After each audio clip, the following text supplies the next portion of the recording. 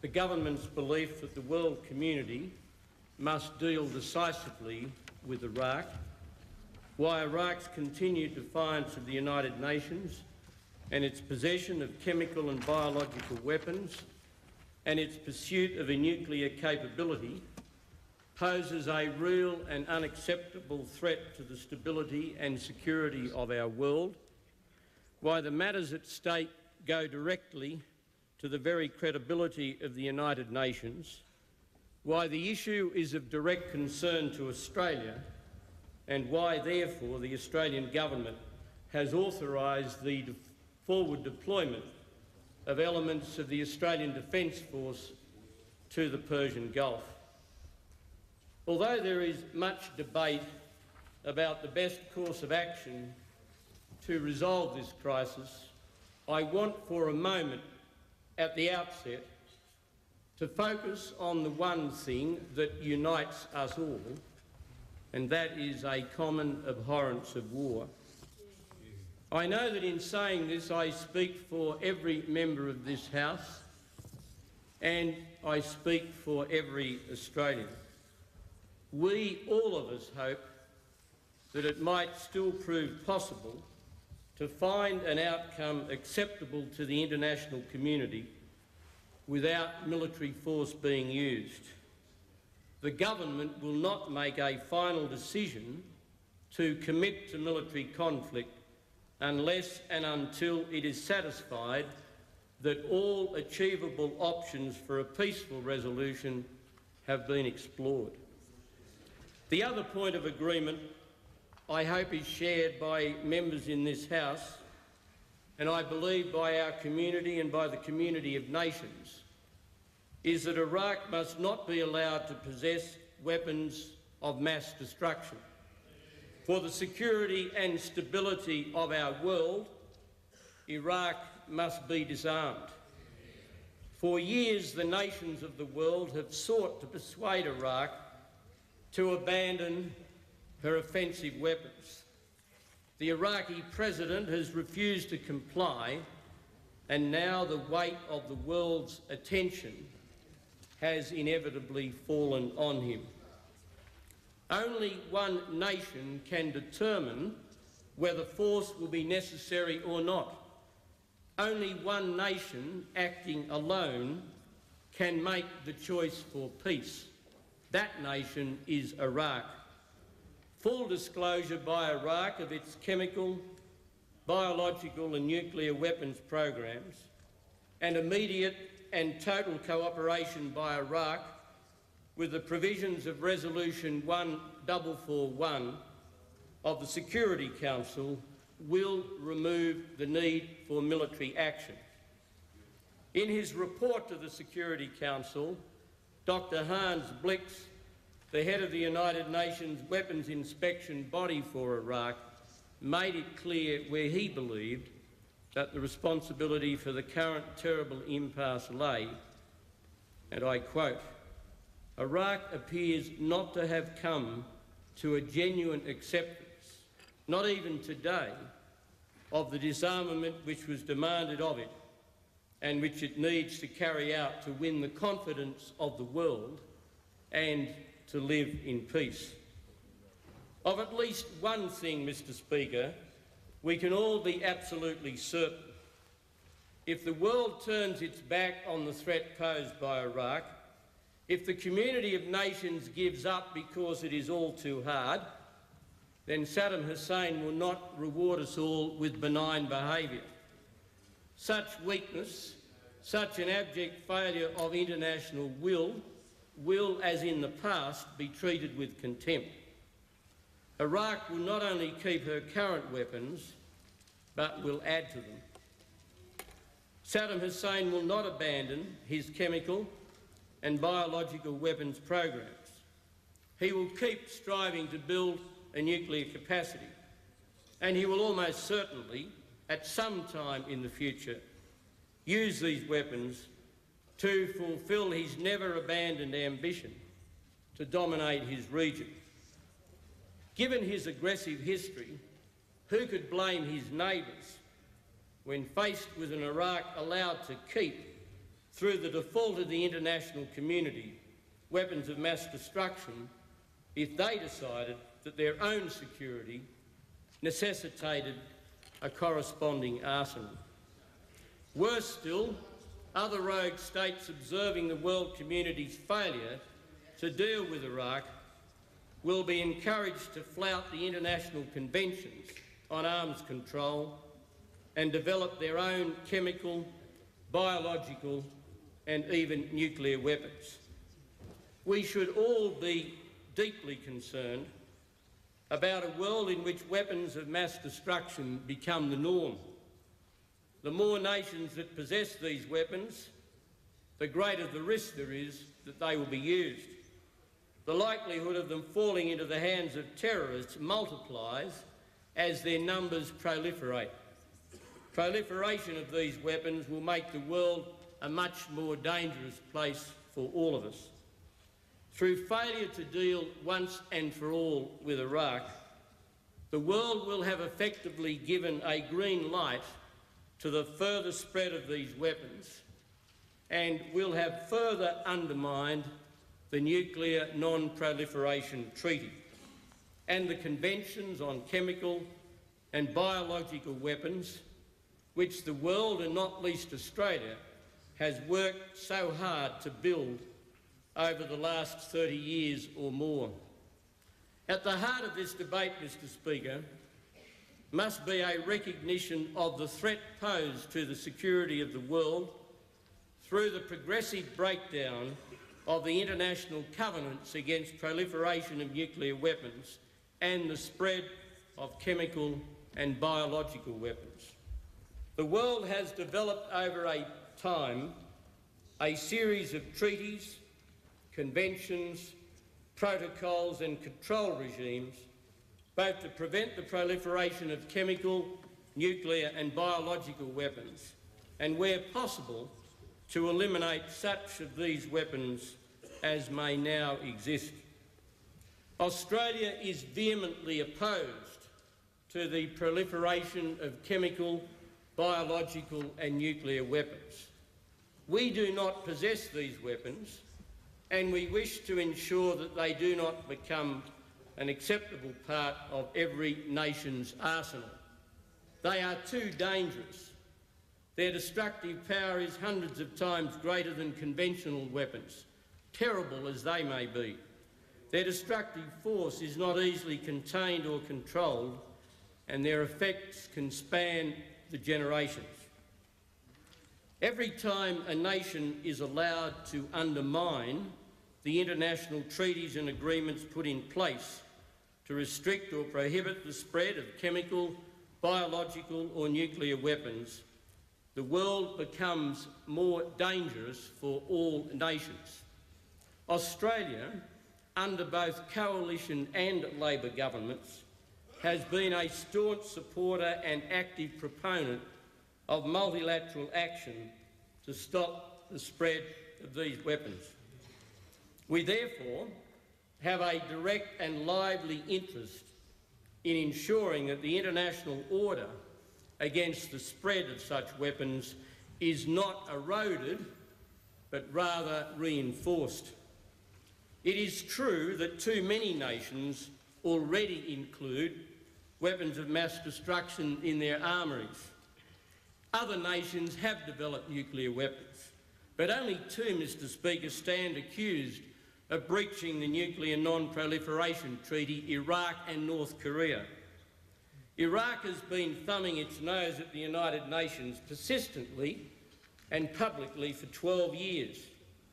In North Korea's case, the extent of its breach of international commitments has only recently become apparent. The international community, with Australia playing a leading role, has begun to deal with North Korea. The security of our region and that of the broader world demands that North Korea be brought back into compliance with the Nuclear Non-Proliferation Treaty.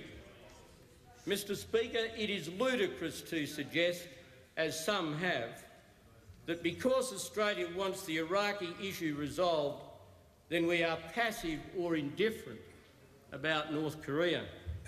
Both pose grave threats to world security. Both Watson. are of intense interest to Australia. It is not a question of choice. Both must be dealt with. Mr Speaker, I pose the very simple question. What hope does the world have of dealing peacefully and effectively with North Korea if the Security Council is seen to deal supinely with Iraq?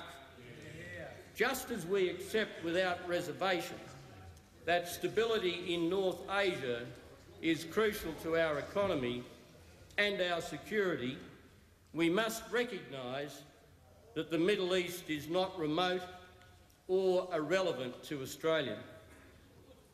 Australia is home to several hundred thousand people of Middle Eastern background. Some are from Iraq, and we appreciate the contribution of all of these people to our nation. Many of them could be torn between seeing Saddam brought to account and the possible dangers facing their families in Iraq. During this time, they will need our compassion and our support. And I hope that all Australians will ensure that this is offered. For almost 20 years, Mr Speaker, Iraq has been a constant threat to its neighbours. If Iraq emerges from its current confrontation with world opinion, with its arsenal of chemical and biological weapons intact, the potential for Saddam Hussein's aggression against his neighbours to be renewed will be greatly enhanced. Iraq will again feel free to coerce and intimidate countries in the region. The old policy of containment is eroding. Saddam Hussein has increasingly been able to subvert the sanctions. Smuggling of oil from Iraq and the illegal importation of proscribed goods into Iraq have increased dramatically in the past few years. Despite the efforts earlier of the weapons inspectors, who destroyed far more of Iraq's weapons programs than Saddam Hussein ever expected, Iraq has still been able to hang on to most of the knowledge and equipment it needs. Inspectors have never been able to eradicate Iraq's weapons of mass destruction programs. At best, they slowed their development. There will be no stability, no security for the nations of the Gulf until Iraq is disarmed of its weapons of mass destruction totally and permanently. Disarming Iraq will bring enormous benefits to the Middle East and will be widely welcomed. Clearly, however, Mr Speaker, the international community must redouble its efforts to resolve the seemingly intractable Israeli-Palestinian conflict. The Australian government again calls on both sides to bring an end to the violence affecting Israelis and Palestinians. Neither side should make the mistake of alienating through violence those who are willing and ready to negotiate a settlement. Israel has no stauncher ally than Australia in its pursuit of the right to exist within secure and internationally recognised boundaries. Australia strongly supports the creation of a viable, independent Palestinian state. Mr Speaker, it remains a great tragedy that the courageous efforts of Ehud Barak, the former Prime Minister of Israel, who offered the Palestinians the great bulk of their demands, were unilaterally repudi- ultimately repudiated by the Palestinian chairman Yasser Arafat. As a genuine friend of Israel's, I urge Ariel Sharon to use the authority of his re-election to take whatever opportunity might reasonably arise to engage the Palestinian Authority in constructive peace discussions. Mr Speaker, he should facilitate all bona fide international attempts to bring the parties together. Can The I, member for however, Watson. say this to the members of the Palestinian Authority? How can the Prime Minister of Israel be expected to do these things while ever the murderous pattern of suicide bombing continues to be inflicted on the people of Israel? In the end result, however, any action taken against Iraq must be justified on its own merits. It will not and cannot be predicated on whether or not other challenges to world security have been addressed. The overriding concern about Iraq is its record of aggression and willingness to use weapons of mass destruction. Saddam Hussein clearly does not see them as weapons of last resort. He has used them against his neighbours. He has used them against his own people. This is a doleful distinction which Iraq shares with no other country. Iraq, Mr Speaker, has formed. Saddam Hussein has, without provocation, invaded Iran and Kuwait. He has fired missiles at Saudi Arabia, at Israel, at Bahrain and Qatar. He's bullied, threatened and extorted Syria, Jordan and the Gulf states. Who knows what other horrors might have been perpetrated on the Kurds or the Shia Muslims if not for the no-fly zones which Britain and the United States have enforced for these last 12 years. Iraq also has a long history of training and supporting regional terrorist groups. It supports Palestinian suicide bombers who have caused such death and destruction within Israel. Iraq's history of relationships with and support for terrorist organisations magnify our concerns. The rise of international terrorism adds a new and frightening dimension to the threat posed by the proliferation of chemical, biological and nuclear weapons. The ultimate nightmare for us all must be that the weapons of mass destruction fall into the hands of terrorists. The more the world leaves unchecked either the possession of such weapons by rogue states or the spread of those weapons, the more likely it becomes that terrorists will acquire and ultimately use them. It cannot be stressed too strongly, Mr Speaker, Member for that Melbourne. all of this is added to the Member fact for Werriwa. that Iraq has flouted with impunity the resolutions of the Security Council of the United Nations.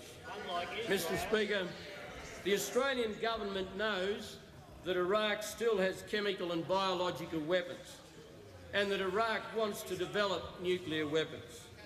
We share the view of many that unless checked, Iraq could, even without outside help, develop nuclear weapons in about five years. Even before the report of the head of the United Nations Weapons Inspection Body, there was compelling evidence to support these beliefs within the published detailed dossiers of British and American intelligence. On the basis of the intelligence available, the British Joint Intelligence Committee judged that Iraq has a usable chemical and biological weapons capability, which has included recent production of chemical and biological agents. Iraq continues to work on developing nuclear weapons. Uranium has been sought from Africa that has no civil nuclear application in Iraq. Iraq possesses extended range versions of the Scud ballistic missile in breach of Security Council resolutions, which are capable of reaching Cyprus, Turkey, Tehran and Israel. Iraq's current military planning specifically envisages the use of chemical and biological weapons. In its view, Saddam Hussein is determined to retain these capabilities. The analysis provided by the Director of United States Central Intelligence reached similar conclusions, namely, Iraq is reconstituting its nuclear weapons program. It has begun renewed production of chemical warfare agents, probably included mustard, sarin, cyclosarin and VX. All key aspects, R&D, production and weaponisation of Iraq's offensive biological weapons program are active and most elements are larger and more advanced than they were before the Gulf War in 1991. The intelligence material collected over recent times to which Australia has contributed points overwhelmingly to Saddam Hussein having acted in systematic defiance of the resolutions of the Security Council, maintained his stockpile of chemical and biological weapons, and sought to reconstitute a nuclear program. Given the strong and critical language of the Blix report, the nations which comprise the Security Council face a stark and difficult choice. The Council must either act to ensure full compliance by Iraq with Resolution 1441 or through either excessive delay or indifference risk crippling its own authority.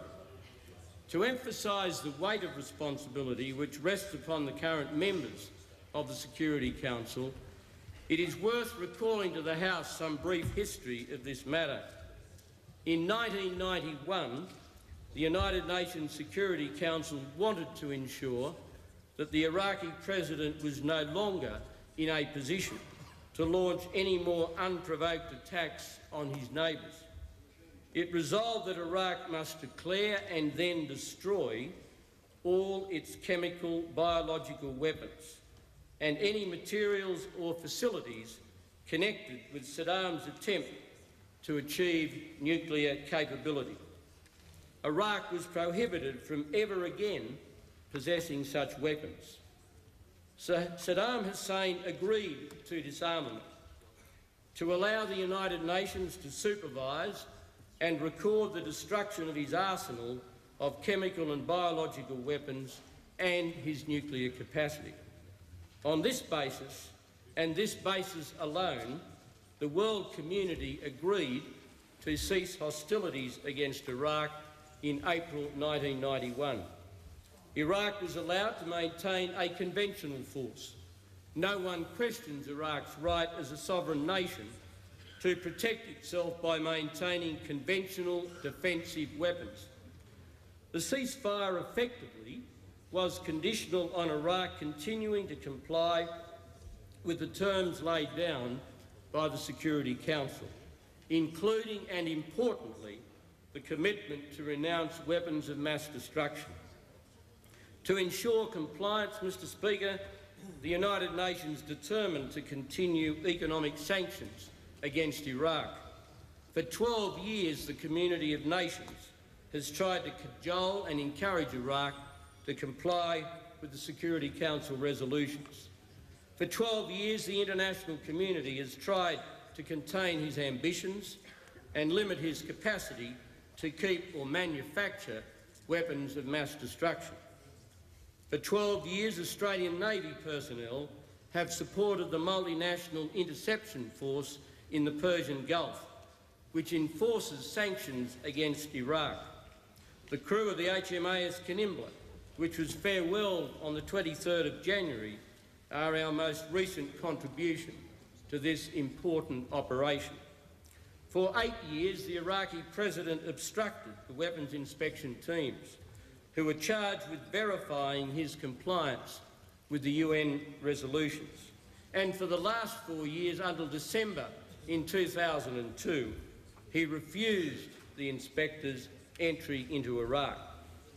Iraq has not complied with 24 out of the 27 provisions contained in successive Security Council resolutions. Over the last 12 years, the Security Council has passed no fewer than nine resolutions condemning Iraq's non-cooperation with weapons inspectors. Iraq has had a lot of time and plenty of opportunities to get it right. The government has consistently argued that the United Nations needs to deal with Saddam Hussein's continued defiance of the Security Council's authority. This was the view I put to President Bush shortly before his address to the General Assembly of the United Nations in September last year. I then argued to him the merits of working through the United Nations. That has been, Mr Speaker, that has been, Mr The Prime Speaker, Minister has the call. Member for Grayndler. Prime Minister.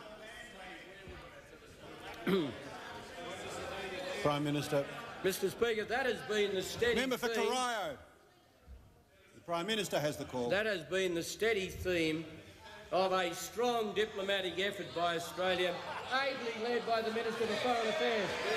Yeah. Hmm. Mr Speaker, we have supported we have supported a leading role. Member for Lingiari. Mr Speaker, we have supported a leading role for the United Nations in addressing this threat. Mr Speaker, our close relationship and our ready access to the United States administration The member for Melbourne. has meant that our views are heard and respected, Mr Speaker. We approach Security Council members in capitals and in New York Member for Fowler. to encourage a constructive resolution. We recently sent an envoy to Southeast Asia to consult key partners in the region and inform them of Australia's position.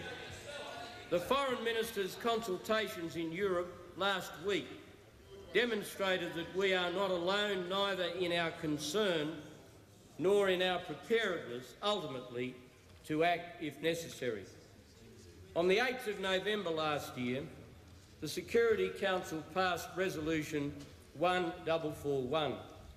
The nations which comprise the Council, large and small, from all the regions of the world, of almost every faith and political persuasion, decided unanimously that Iraq had been and remained in breach of its obligations.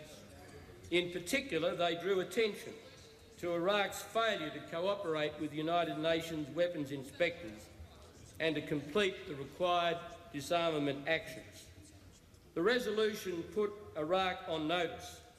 The consequences of non-compliance would be serious.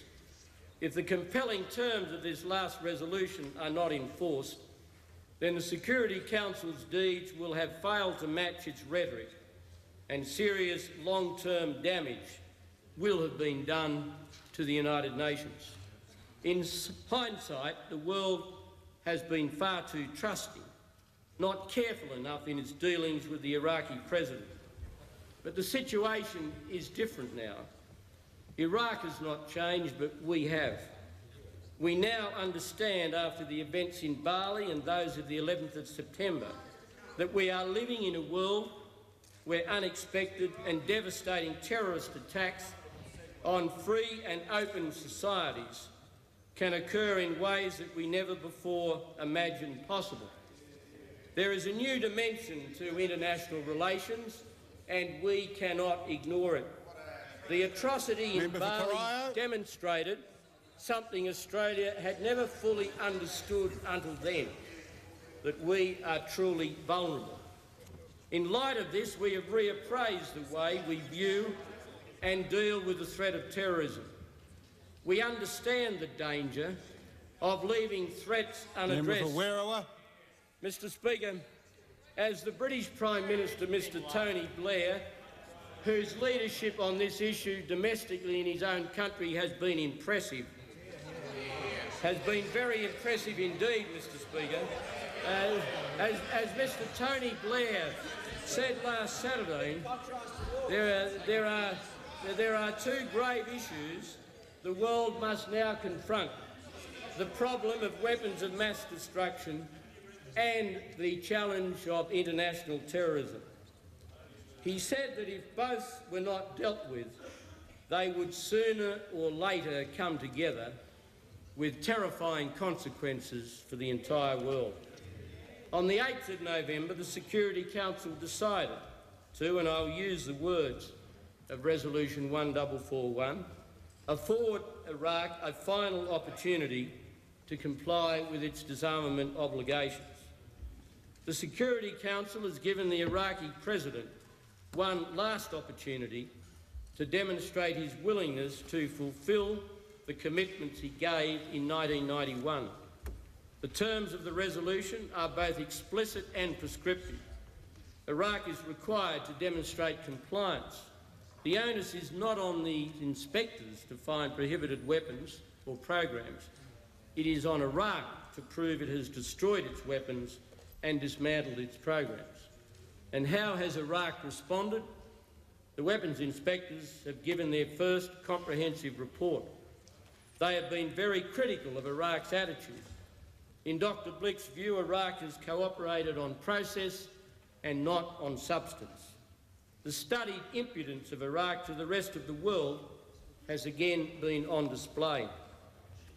Without Iraq's active and sincere cooperation, the weapons inspectors are frankly wasting their time. Inspectors can assist Iraq disarm. They can verify to the world community that Iraq is disarming. They cannot simply, by their presence, achieve disarmament. Dr Blix did not expressly ask for more time. He did, however, ask for more cooperation. Those who argue that the key issue is to give the inspectors more time have missed the point completely. The inspectors don't need time, they need Iraq's cooperation. If Iraq was demonstrating full cooperation, I would argue they'd be given all the time in the world, Mr Speaker. But this is demonstrably not the case. At the end of last month, Dr Blix reported to the Security Council that all the questions concerning disarmament of Iraq remain outstanding. The resolution had posed two important tests by which Iraq could demonstrate compliance the provision of a full and accurate declaration of the regime's weapons of mass destruction and active cooperation with the inspection process. Dr Blix reported that Iraq has failed both tests. The point must clearly be understood, Mr Speaker, that following its defeat in the Gulf War, Iraq admitted to possessing chemical and biological weapons and to developing a nuclear program. In those circumstances, the overwhelming imperative is that Iraq demonstrates to the world that it has destroyed those weapons and disbanded those programs. That, in fact, is what this debate is all about.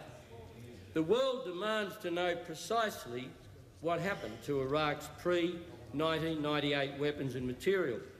Iraq claims to have destroyed them, but Dr Blix is right to demand proof. There are 6,500 chemical bombs, including 550 shells filled with mustard gas, 360 tonnes of bulk chemical warfare agent, including 1.5 tonnes of the deadly nerve agent VX, 3,000 tonnes of precursor chemicals, 300 tonnes of which could only be used for the production of VX, and over 30,000 special munitions for the delivery of chemical and biological agents, all unaccounted for. In 1995, the international community was confronted by Iraq's massive program for developing offensive biological weapons, one of the largest and most advanced in the world. Despite four years of intensive inquiries and searches, the weapons inspectors did not even know of its existence until Saddam Hussein's son-in-law, Hussein Kamal, defected. Faced with its duplicity, Iraq finally admitted to producing uh, aflatoxin, which causes cancers, the paralysing poison botulinum and anthrax bacteria it admitted to manufacturing 8,500 litres of anthrax. A single gram is enough for millions of fatal doses. Dr Blix wants proof that the anthrax has been destroyed, destroyed and so do we. Mr Speaker, Iraq must account for the large quantity of undeclared growth media for biological weapons and for all its Scud-B ballistic missiles. It must explain why it has rebuilt equipment and facilities destroyed by previous inspection teams. It must allow the unfettered, unrestricted reconnaissance flights so relevant data can be collected and analysed. And it must allow the inspectors unsupervised access to relevant members of the Iraqi scientific community. Other countries have in the recent past volunteered to undertake a disarmament process. South Africa, Ukraine and Kazakhstan. Disarmament can involve complex technical checks and processes, but it is still relatively simple provided there is a high-level political commitment to disarm, sound planning and, most importantly, full co cooperation and transparency with weapons inspection teams. The transparent, openly cooperative behaviour of these countries in disarming could not present a more vivid contrast with the stubborn, deceitful behaviour of Iraq, which is all the hallmarks of a nation which is clearly hiding something. The world community is not asking the Iraqi regime to prove the impossible. It is asking for straightforward answers to a series of very serious questions. Now is not the time to relieve pressure on Iraq. And there is only one form of pressure that Saddam Hussein understands, and that is the threat of military force. We have tried sanctions and containment. Sanctions can be a very powerful instrument of persuasion, but have little influence over a dictator who cares nothing for the well-being of his people. The brutal treatment by Saddam Hussein of his own people can be seen through his cruel and cynical manipulation of the Oil for Food program developed by the United Nations. For the last 12 years, Iraq has been able to trade its oil for humanitarian goods, food and medicines under United Nations supervision. Tragically for the Iraqi people, Saddam Hussein has watered the program, violated its provisions and evaded its constraints a significant portion of the humanitarian goods are re-exported from Iraq for cash and oil is routinely smuggled out and sold illegally so that Saddam Hussein can finance his weapons program.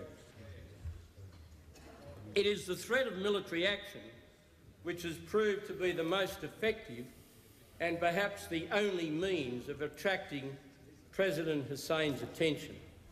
The Secretary General of the United Nations, Kofi Annan, has clearly recognised this strategy and he stated publicly that in his opinion, if the Americans had not applied military pressure through the build-up of forces in the Gulf, the weapons inspectors would not now be in Iraq. There can be no stronger statement of the diplomatic value of the military deployment there could be no more explicit rejection of America's critics. The Australian government has the same view. Like the Secretary-General, we recognise the value of this strategy and we do not consider that the burden of it should fall to the United States and the United Kingdom alone. This is one of the reasons why elements of the Australian Defence Force are being pre-positioned in the Gulf. Mr Speaker, this Member is not Werriwa? the first time that Australia has pre-positioned forces in the Gulf, both to apply diplomatic pressure against Saddam Hussein and in anticipation of possible military action against Iraq. In 1998, in the lead up to Operation Desert Fox, the government pre-positioned Special Air Service forces, some 150 of them, and two refuelling aircraft with British and American forces in the Gulf. We did so in the absence of any new, specific Security Council authorisation and on the understanding that a final decision to commit to military action had not been taken at the time of the deployment. The aim then, as now, was to put pressure on Saddam Hussein the circumstances of the pre-positioning of forces in 1998 are so similar as to be almost identical. In 1998, the then Leader of the Opposition, the member for Brand, a former Defence Minister, recognised the value of the strategy when he said, and I quote, part of the reason why we have supported the government in giving our approval to the steps that they've taken thus far has been to assist in putting pressure on Saddam Hussein. And there's no doubt in my mind, if there had not been pressure coming in from those who are prepared to be part of the coalition, the energising of the United Nations Security Council and the energising of a couple of members of the United Nations Security Council, Russia and France, to try and find solutions simply wouldn't have occurred. End of quote. Prime Minister has the call. Prime Minister. Mr. Um, Mr. Speaker, in, in deciding to pre-position our troops, we were also responding to advice from the Australian Defence Force that if at some time in the near future we wish to participate in military action, our troops would be advantaged by having the opportunity to prepare and acclimatise. Over the past few months, Mr Speaker, there has been sustained criticism from some quarters, both here and abroad, regarding the role of the United States on this whole issue. So much of that criticism, Mr Speaker, has been either wrong, unfair or downright prejudiced. Mr Speaker, no criticism, Mr Speaker, no criticism is more outrageous than the claim that United States behaviour is driven by a wish to take control of Iraq's oil reserves. Self-evidently, if cheap oil supplies were America's dominant motive, then years before now the United States would have done a deal with Iraq to lift the sanctions in return for plentiful supplies of low-priced oil. I have no doubt, Mr Speaker, that the driving force behind American policy towards Iraq now is that in the wake of the events of the 11th of September, they have a justifiable concern that the twin evils of weapons of mass destruction in the hands of rogue states and international terrorism will come together with horrific consequences. The United member States has also warned. been falsely accused of acting unilaterally and thus in contemptuous disregard for the role of the United Nations. The issue of Iraq is now before the Security Council precisely because of the actions and the pressure of the United States. For almost four years, the Security Council had left Iraq in the too hard basket. On the 12th of September 2002, President Bush addressed the General Assembly and reminded the United Nations of its responsibilities to deal with Iraq's repeated defiance of Security Council resolutions. Unless, therefore, it is regarded as provocative and contemptuous of the United States to charge the United Nations with the obligation of enforcing its own decisions, this allegation against the United States is without any substance, Mr Speaker. The issue of Iraq will again be before the Security Council on the 5th of February at the express request of the United States. And its Secretary of State, Colin Powell, will present some new material to Council members. Uh, I have authorised the use of some Australian sourced material in that presentation, which will include material from a number of countries. So as to protect sources, it is not possible for me to be specific as to what material has been sourced in Australia. I am sure that the House will understand this. Mr Speaker, it can barely be denied by anyone that all the actions of the United States at present are designed to ensure that the Security Council acts to compel compliance with its own unanimously adopted resolution 1441. Australia, Mr Speaker, is a close ally of the United States. No nation is more important to our long-term security. Australians will never forget the vital assistance given to us by the United States during World War II. Our value systems, while far from identical, are nonetheless Member similar. Swan. We share common democratic values. We have made common cause in the fight against terrorism. Australia and the United States have a common interest in presenting, preventing the spread of chemical, biological and nuclear weapons. Australia's alliance with the United States has been and will remain an important element in the government's decision-making process on the Iraqi issue. The crucial long-term value of the United States alliance should always be a factor in major national security decisions taken by Australia. In an increasingly globalised and borderless world, the relationship between Australia and the United States will grow more and not less important. The most intense desire of us all is that this challenging issue is resolved without war. No one wants war. We all hope that it can be avoided. Given the past intransigent attitude of Iraq, it is very difficult to conceive that even the full weight of Security Council opinion, unanimously expressed and threatening imminent military action, will induce Saddam Hussein to comply with his international obligations. The only hope of a peaceful solution will be if the Security Council acts clearly, decisively and unambiguously.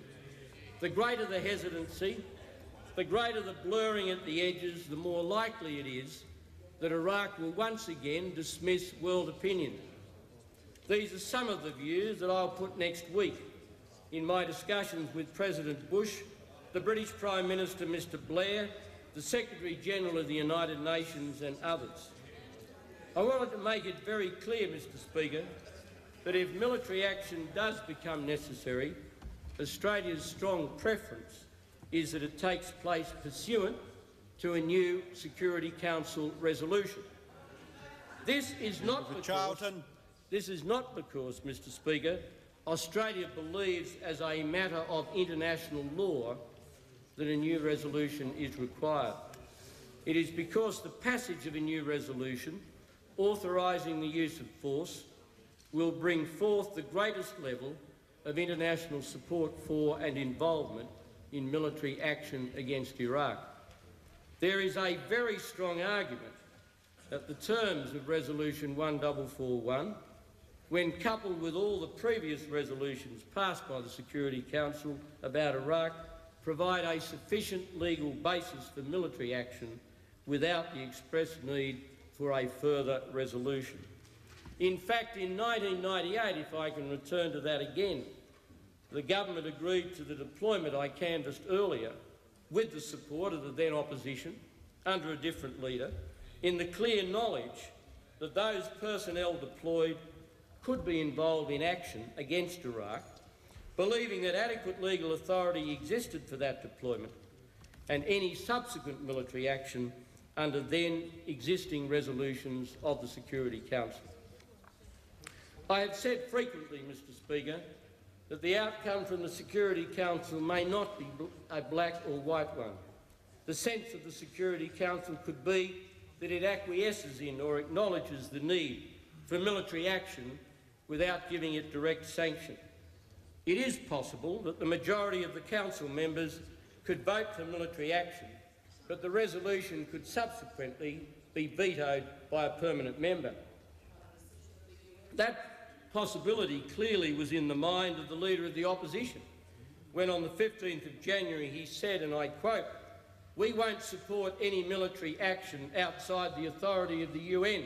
The exception to this position might occur in the case of overwhelming United Nations Security Council support for military action, but where support for such action was subject to a veto.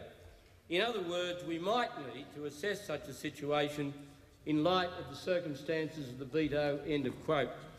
If the Security Council produces a grey rather than a black or white outcome, choices on final action and commitments will need to be made by many nations, including Australia. In reaching its final decision, the Australian Government will be influenced not only by our powerful desire to stop the spread of chemical, biological and nuclear weapons, and our alliance with the United States, but also importantly by the past practice of nations which have taken collective military action in the interests of world or regional security. For example, the NATO countries conducted bombing attacks against Serbia in 1999 without any kind of direct Security Council authorisation. That authority was never sought because of an apprehended Russian veto. A subsequent joint Sino-Russian motion condemning the NATO action was defeated. There the matter rested. The Security Council was taken to have acquiesced in the NATO action. Our goal is disarmament. We want to see a renewed commitment to the principle of non-proliferation. We want to see Iraq free of weapons of mass destruction. We want to see the sanctions lifted. We want Iraq back in the community of nations because it would be good for the world, good for Australia, and most particularly good for the people of Iraq. Most of all, we want the conflict resolved without resort to military force. If the international community does not act now to disarm Iraq, it will have made a mockery of years of effort to stop the spread of weapons of mass destruction. It will have encouraged others to mimic Iraq. It will make dealing with North Korea almost impossible. And most importantly, failure to act will gravely compromise the authority of the United Nations. Clearly, the prepositioning of Australian forces and the contingency planning with the United States military, to which ministers and I have referred frequently over recent months, has put Australia in a position where it can effectively, and in circumstances providing the best assurances of safety for our forces, contribute to a military operation against Iraq should a final decision be taken for this to occur. The moment for that final decision has yet to arrive. That decision ultimately will be guided by the judgment which the government makes as to where Australia's national interest lies. This issue poses great and difficult choices for Australia. We all hate the very thought of war in any form. Our natural instinct is to recoil from it. The temptation to turn our backs on the problem and hope it will go away is great. Yet the realities of the world in which we now live do not permit us that luxury. We all know that history is replete with examples of the community of nations retreating from difficult decisions through fear of the immediate consequences, only to find that those difficult decisions must ultimately be addressed and at an infinitely greater cost. Finally, Mr Speaker, our thoughts must turn to the men and women of the Australian Defence Force on deployment doing their duty and maintaining a long tradition of courage and professionalism in the service of Australia. Whatever may be their role in the weeks and months ahead, we admire them, we support them and we wish them well we are united in our prayers and our hopes for their safety and their well-being. Prime Minister. I present a copy of the statement. Thank you. Questions the motion be agreed to? All those that opinion say aye. Contrary no. I think the ayes have it. The Leader